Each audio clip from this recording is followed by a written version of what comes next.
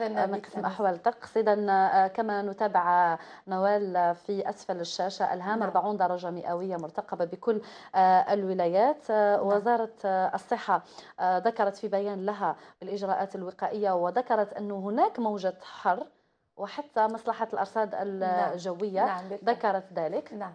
تفاصيل إذا لديك نعم. نوال.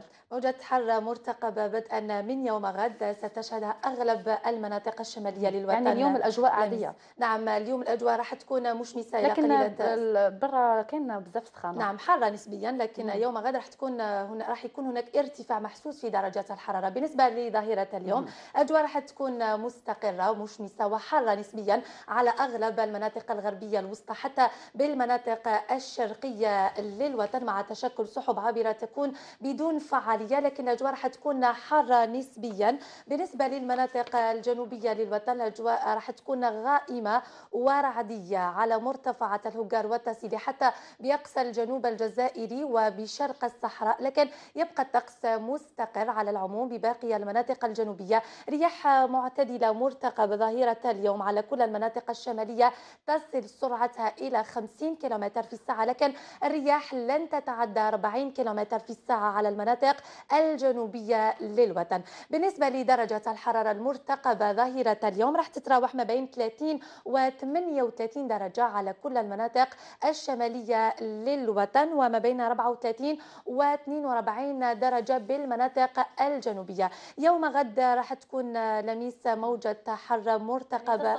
نعم. كما نتابعوا في الآخر نعم. تصل حتى 42 درجة. نعم هذا موجة. بالنسبة للجزائر وسط نعم. فيما يخص الولايات نعم الداخليه إذا موجة حر مرتقبة يوم غد. لميس على أغلب المناطق الشمالية. ارتفاع محسوس أجواء صيفية ستشهدها أغلب المناطق الشمالية للوطن. بدءا من يوم غد هذا وسنسجل 34 درجة على الجزائر العاصمة. برج بوعريريج عين دفلة البليدة تيبازا وسطيف 40 درجة على عنابة بجاية البويرة الطارف جيجل سكيكدة حتى تيزي وزو بومرداس والمسيلة و42 درجة كأعلى مقياس بمنطقة قالمة هذا وتتوقع مصالح الأرصاد الجوية أجواء حارة نسبيا بدءا من يوم غد الخميس حتى يوم الجمعة القادم. بعدها يعني تعود ترجع ال- الأجواء الحلال. إن شاء الله بإذن الله بدءا من يوم السبت القادم سيكون هناك تراجع طفيف في درجات الحرارة القصوى بأغلب المناطق الشمالية للوطن.